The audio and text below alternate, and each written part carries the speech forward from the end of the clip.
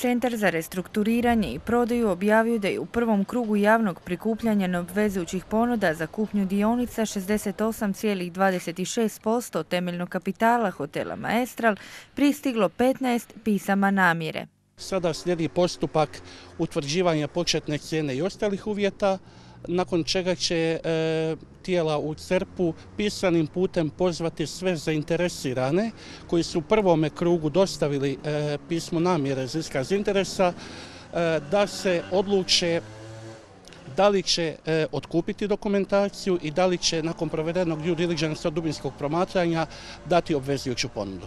Iako je privatizacija hotela već dva puta bila neuspješna, tvrtka posluje pozitivno, istaknuo je Balija te dodao. Hoteli Maestral obuhvaćaju pet hotela plus jedan depadans u dijelu naše uvale Laparske. E, ukupni kapaciteti hotela su 928 ležaja, e, raspoređenih u 482 sobe.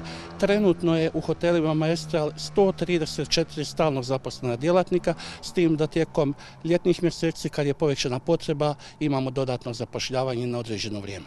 Održivost hotela je neupitna. Nju imamo, kazao predsjednik uprave te dodao kako je danas teško biti konkurentan na tržištu i to je ono po čemu hoteli Maestral u odnosu na druge hotele u Dubrovniku svake godine sve više zaostaju. Upravo iz razloga što zbog procesa privatizacije ne možemo se daljnje dugoročno zaduživati. Znači sve što uložimo u napređenje našeg poslovanja radimo iz našeg tekućega, iz, iz naših tekućih priljeva, jeli, što je jako, jako jako, jako teško.